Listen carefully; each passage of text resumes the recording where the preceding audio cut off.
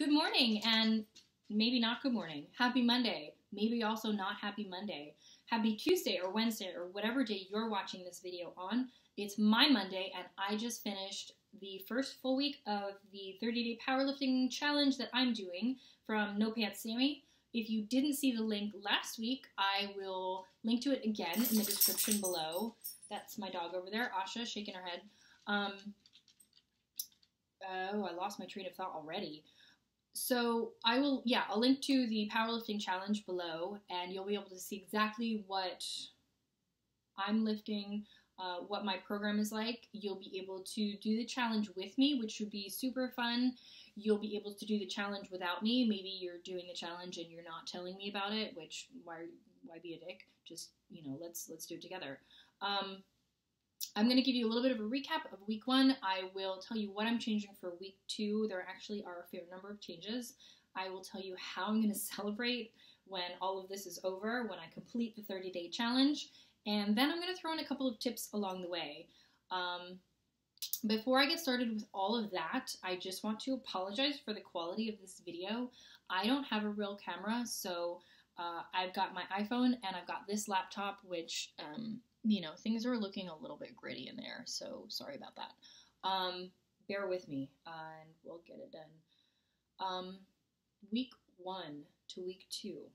The biggest thing that I'm changing is going to be my lifting schedule. Uh, I thought that I'd be able to do Monday, Wednesday, Friday, and I'm not. I am going to be switching over to Tuesday, Thursday, Saturday, and that is because Wednesdays just do not work with my work schedule. I will not be able to get to the gym, not even for a 30 day challenge. Um, so I'm changing that right off the bat. That is my tip number one. Ding! If you're trying to lift on a schedule that doesn't work for you, it's not it's not going to help you to be consistent and you will find much more success if you just change things um, change them right away uh, what I'm doing is, you know, just swapping some days around here and there so that I will be able to stick to a program consistently. And whether you are going to the gym, whether you're running, whatever it is you're doing, hopefully not CrossFit, uh, yeah, just do it consistently. Find the days that work for you. Find the times that work for you, whether it's morning or evening, um, and just stick to it and you'll find a lot more success in that. Uh, you'll be able to keep going a lot longer with it. Um, so this week I lifted on Monday, Thursday, Saturday. Um, I'm gonna have uh, an extra rest day in there technically. Um, since I'm not squatting today, I will be going to the gym tomorrow. Uh, it's not to be a real rest day for me because I'm to go and lift with my friend Blake later. And if you are watching this video before that happens, you'll be able to catch it on Snapchat. And if you're not already following me on Snapchat, I will give you my Snapchat name so that you can find me, also in the description below. And if you are watching this after it happens, go and add me on Snapchat now so that you don't miss out on the future fun. The other thing that I wanted to add in about that was if I were actually prepping for a powerlifting meet or if I were doing uh, a bodybuilding show or something like that, I wouldn't be lifting on my rest days because it would conflict with my goals. Since I'm just doing this challenge for fun, I am to go lift and have some fun with my friend Blake. So, um, what else is changing? I used a calculator to um, figure out what my projected one rep maxes would be. Uh, like I said, since I have never tested them before, and I'm going to have to update those because I was able to lift a lot more this week than I thought I could, but maybe also it's because I'm just so strong. And uh, I'm going to be referring to this little notebook. This is where I track all of my workouts, um, just so that I can tell you what my numbers were and what they will be for the coming week. um, that's actually my tip number two. Ding ding. Um, if you're not tracking your workouts, start now. It is so useful for so many reasons. Um, primarily for me, it's because I have a shitty memory and I, I wouldn't be able to remember anything that I did, what weights I was using, how many reps I was doing. Um, so if you're like me, um, write it down. And I've been writing everything down for probably about two years now. It's super useful to me, not only for uh, being able to challenge myself from week to week and to add reps or to add weight, but I'm able to make little notes about maybe a cue that really worked for me.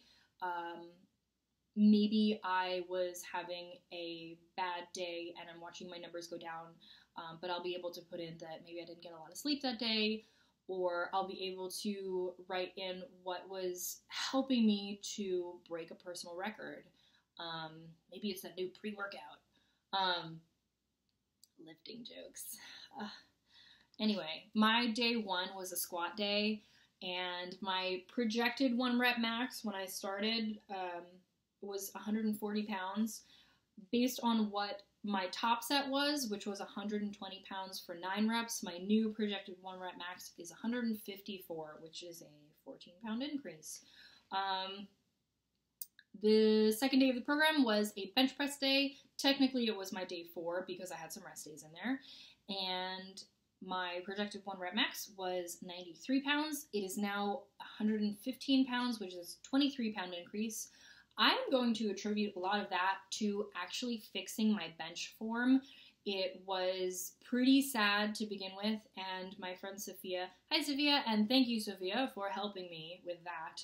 Uh, if you have friends that lift, then take advantage of them. Um, ask them to watch what you're doing and uh, maybe give you some tips, but only if they know what they're doing because um, people like to give a lot of bad advice. Um, anyway, you can also film what you're doing and post that online and ask for help from other people online that probably maybe know what they're doing a little better than um, some randos in the gym. Anyway, day three of the program, deadlift day, which is my personal favorite day. Uh, projected one rep max was 193, and it has gone up to 205. So, um, yeah, those are those are the three days. We had day one, which is squat day and leg stuff. We had day two, which was bench press and arm and shoulder and upper body stuff. We had day three, which was deadlift day and back stuff. And if I were on a bodybuilding program, I'd probably throw in a hip thrust day and some butt stuff. butt stuff. And anyway, that's my joke for the week. Stop me now. Uh, what else is going on? Oh, I told you that I would tell you how I'm celebrating for the end of this 30 day challenge. Uh, thank you to my friend Marco for helping me to figure this out. But what I will be doing is a special video. If I do finish the challenge, I will be putting 10 scoops of ice cream on me. Uh, you can help me decide where. And I will be putting 10 scoops of ice cream in me. So that's going to be fun. Um, but I have to get there first. So, uh, what else did I tell you? Uh, I would tell you. I told you tips, um, recap, um, that's basically everything that's going to be changing for the first week. I did get some really good tips on my form uh, from Sammi, so I will be changing a couple of things here and there. You'll be able to see all of my video recaps of my workouts on my Instagram, and if you're not following me on Instagram, I will link to that as well below. Um, Instagram, Snapchat, Twitter, Facebook. Um, do the challenge.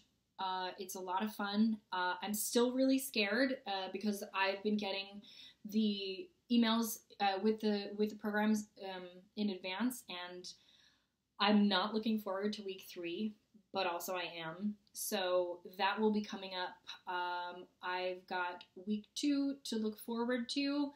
I have a lot of ice cream to look forward to. If you have any questions about what I'm doing, or if you want to cheer me on, go and tell me on Instagram or Facebook or here.